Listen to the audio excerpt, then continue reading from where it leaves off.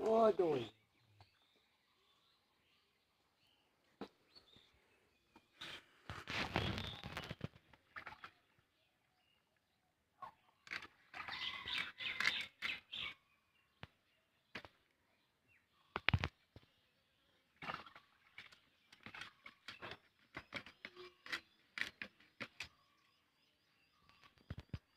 hari ini mahal nih